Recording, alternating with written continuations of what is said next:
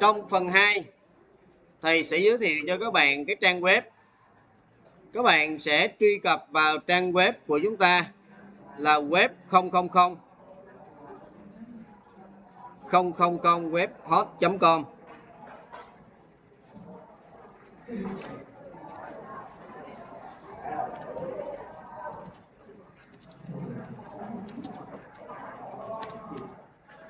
hết tin miễn phí ở trong này Zalo chặn thì các bạn sẽ click chuột phải.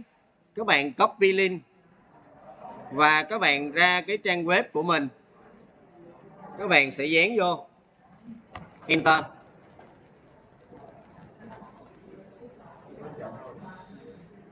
Đây, hot. Đây là trang web. Các bạn sẽ chọn sign in. Nếu như các bạn có tài khoản trên web này rồi còn nếu mà các bạn chưa có, thì các bạn sẽ tạo tài khoản miễn phí. Bây giờ mình sẽ sign in với một cái à, email mới. Ở đây là thầy đang thầy đang sign in vào rồi để thầy log out ra lại.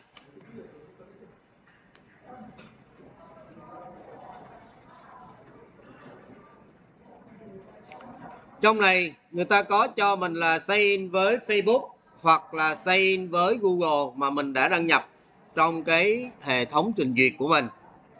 Ví dụ, thầy sẽ chọn một cái ờ, email mới.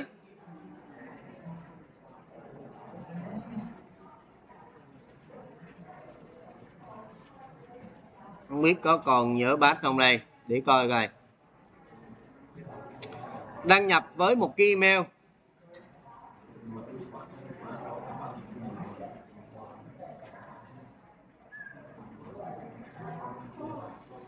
Bạn vào trang web và bạn login vào cái email của mình đi.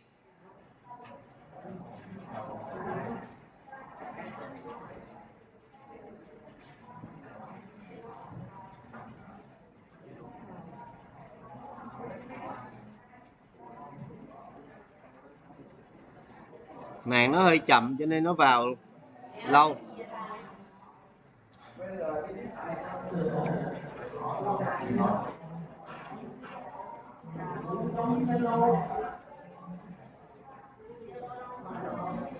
như vậy, cái này là mình đã login vào đây. Và trong phần này, các bạn sẽ chọn là create new website. Create new website. Đó, nó có cái mục là create new website. Ở trên này, các bạn gõ tên như vậy thì mình sử dụng cái thông tin của các bạn giúp thầy. Đây, thông tin của các bạn. Số thứ tự, mã số sinh viên, tên.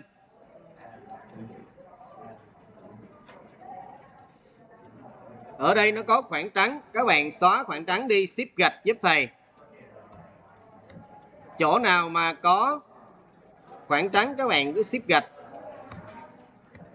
Ship gạch password. Các bạn sẽ đặt cái password này để tí nữa mình quay lại quản trị website của mình. Và khi mà các bạn gõ password thì nó sẽ đảm bảo yêu cầu nè. Có số, có chữ, có viết thường, có viết hoa và độ dài từ 8 đến 50 và chỉ lấy ký tự Latin. Thì mình đảm bảo hết tất cả mọi thứ thì nó sẽ chết vô đây tất cả.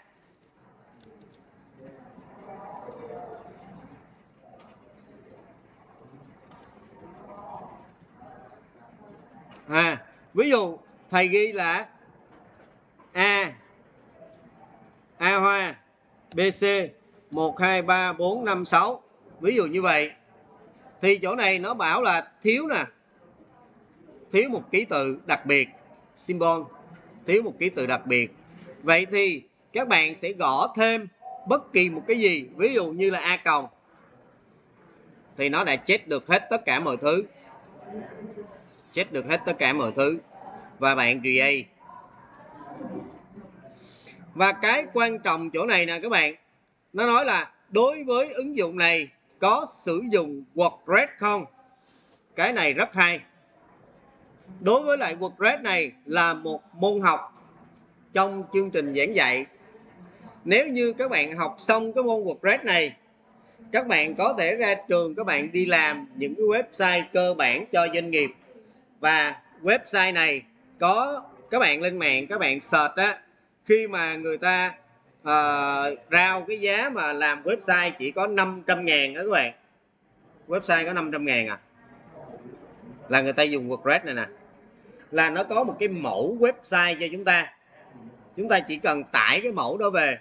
Chúng ta đổi logo đổi tên đổi menu đổi hình ảnh upload lên lại là xong website nó có mẫu sẵn luôn. Còn nếu như bạn làm website khoảng cỡ 5 triệu từ 500 ngàn lên 5 triệu cũng là WordPress. Nhưng mà đối với lại cái WordPress 5 triệu đó người ta sẽ customize cho nó phù hợp với doanh nghiệp của bạn nhiều hơn. Người ta có thể là xây dựng nhiều trang con người ta có thể xây dựng người ta à, cấu hình lại cái form cho nó phù hợp.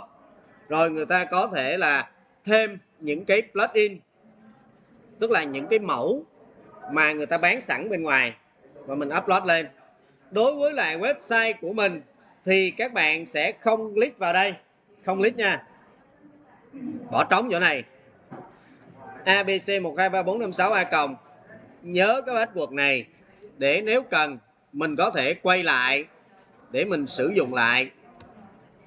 Các bạn cũng nên đặt cái password đơn giản như thế thôi. Vì mình làm làm test làm nháp. Cho nên là không cần đặt quá phức tạp. Quá phức tạp mình quên. Và mình chọn create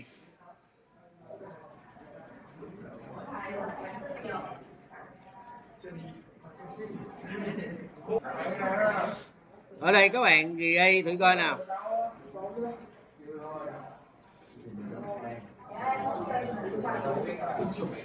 Cái này nó yêu cầu mình phải chết vào thì tí nữa mình xóa cũng được. Các bạn chết vào thì tại vì thực ra mình không cần, mà nó yêu cầu mình chết vào để mình tạo. Nó có tạo không? Sao nó không tạo luôn? Nó bị lỗi chỗ nào?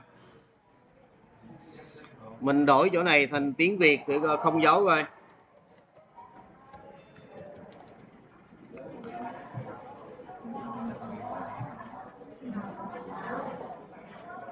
Tạo được không các bạn?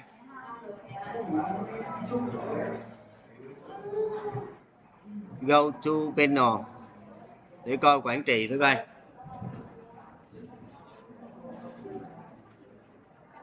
Rồi nếu như nó không cho mình tạo thì mình chỗ cái go to panel đó nó đang yêu cầu mình sẽ sẽ sẽ ờ, uh, get star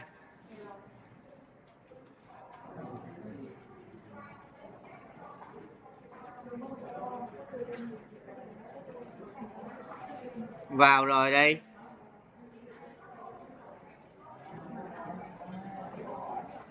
Rồi ok. Rồi các bạn ờ, bấm vào cái uh, start. Mình chọn là web design. Chọn web design. Ở bên ngoài mình khỏi cần create mình vô mình chọn web design thử coi. Web design.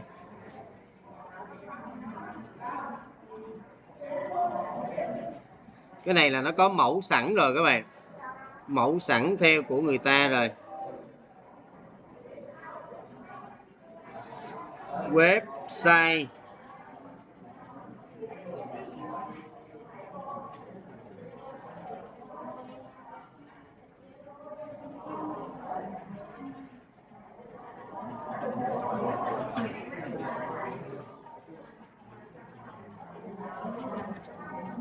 Thanh Hương. Password abc 123456 a cộng. GA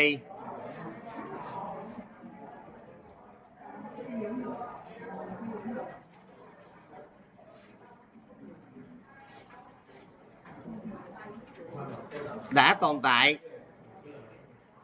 Tên miền này đã tồn tại mình lấy cái mã số vô chắc là hết tồn tại ha. Mình lấy cái mã số của mình vô. Ship gạch.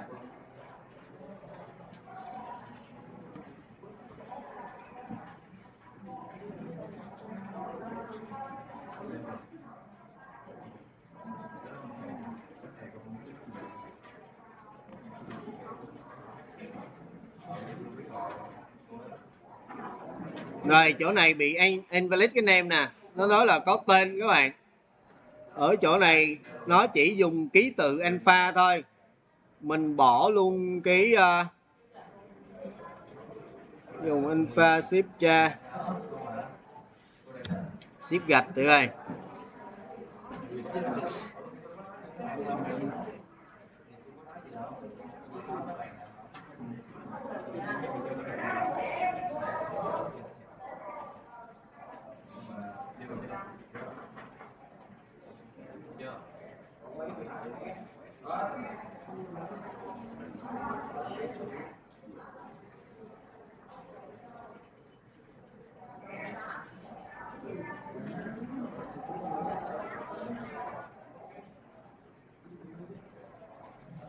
rồi, mình đã tạo được một cái website có tên miền là ts 00202 Thanh Hương. Mình đã tạo được một website. Rồi, các bạn ghi mã số của các bạn, viết liền, tên, không dấu, viết liền.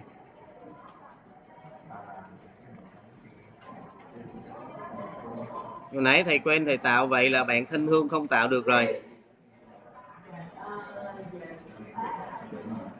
Bạn uh, đổi lại thành uh, đại tên đầy đủ của các bạn đi. Bạn hương đổi lại tên đầy đủ của em.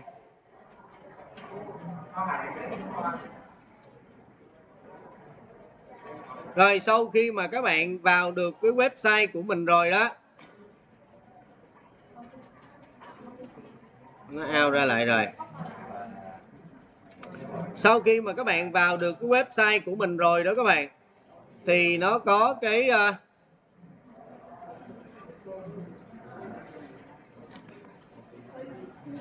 tinh Hương.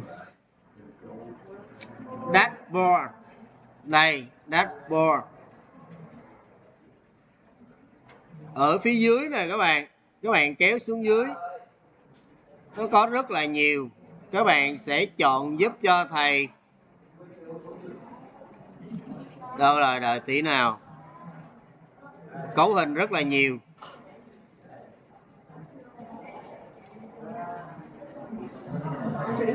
Đây. Các bạn vào cái mục file nè. Chọn file minute. À, vào file chọn file minute. Thì trong cái mục này các bạn chọn vô được dashboard chưa? Cái vùng làm việc của cái user của mình á các bạn chọn file minute để thầy upload luôn, xong là tí nữa thầy xuống thầy sẽ hỗ trợ cho các bạn. Và ở đây, các bạn sẽ chọn vô mục là public html public html mở nó ra. Trong này hiện nay là không có gì hết. Mình sẽ upload website của mình lên. Các bạn chọn vô cái biểu tượng upload nè biểu tượng upload. Cái đám mây có mũi tên. Bấm vô đây. Select file. Các bạn select tất cả những cái trang web của mình. Các bạn chọn thư mục thì nó không lên đâu. Chọn file thôi. Chừa cái thư mục css và thư mục image của mình lại. Tí nữa mình sẽ upload sau. Chọn các cái file và nhớ, trang chủ của mình là trang index nha. Trang chủ của mình là trang index. Upload lên. Rồi, nó đang chạy nè. Sau khi upload xong thì chúng ta có một thư mục là css thì các bạn sẽ tạo thư mục ở góc này. New folder. Rồi new folder ở đây. Và chúng ta có hai folder cần new là css và một folder nữa để chứa hình ảnh image. Chúng ta sẽ tạo hai thư mục này. Hai thư mục này là giống với hai thư mục mà mình đã tạo ở trên cái thư mục website trên trên máy của mình. Và bây giờ mình sẽ upload dữ liệu lên hai thư mục này. Thứ nhất là mở CSS ra. Bây giờ thầy à, từ từ đã upload CSS hả? Bỏ đi. Bây giờ là mình upload rồi nè CSS không có nè image chưa có nè. Bây giờ mình sẽ chạy thử nha. Chạy thử coi thử là nó có vào được ký uh, à, của mình hay chưa.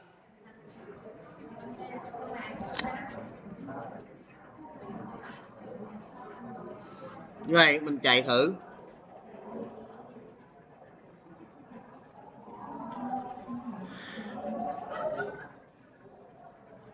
Mình quay trở ra cái trang chủ để mình chạy thử.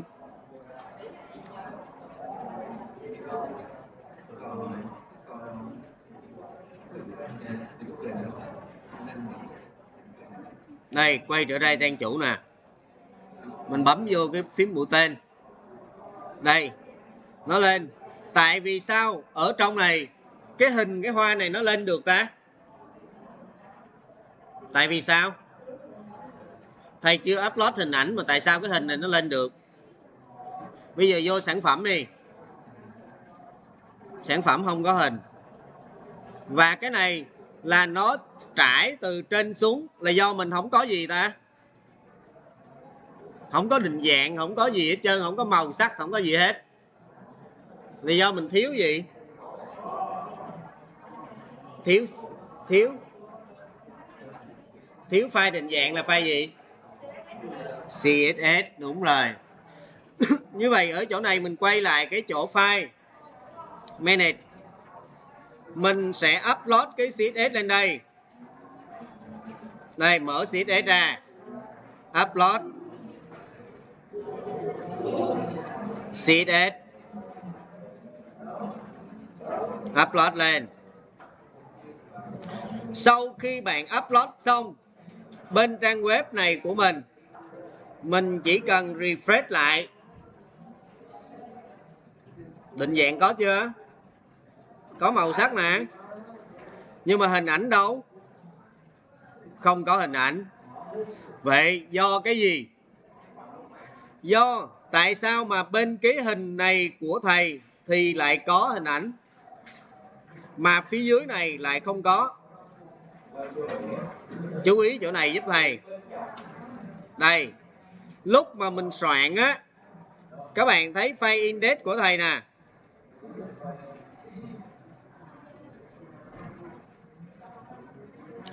Trong file index này, cái hình đầu tiên là cái hoa màu tím đó. Thầy lấy đường dẫn từ đâu?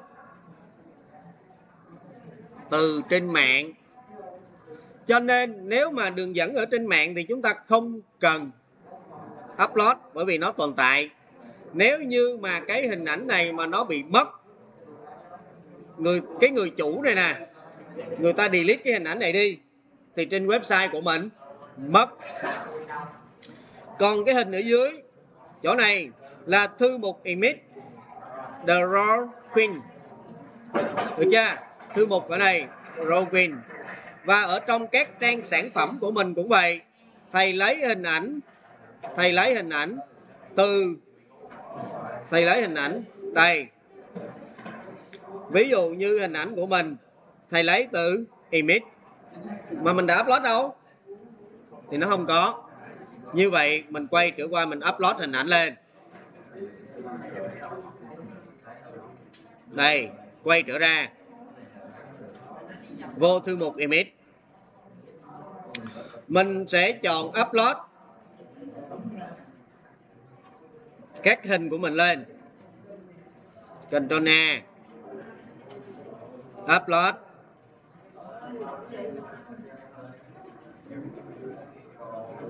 Quay trở lại đây. Chỗ này, tại sao vẫn chưa có? Tại vì hôm trước thầy demo cho các bạn rằng là cái đường dẫn bị sai thì nó không hiển thị được. Bây giờ mình vô sản phẩm đi. Có chưa? Hình ảnh có rồi. Mình upload hình ảnh lên. Có rồi. Cho nên nó đã nhìn thấy được sản phẩm của mình.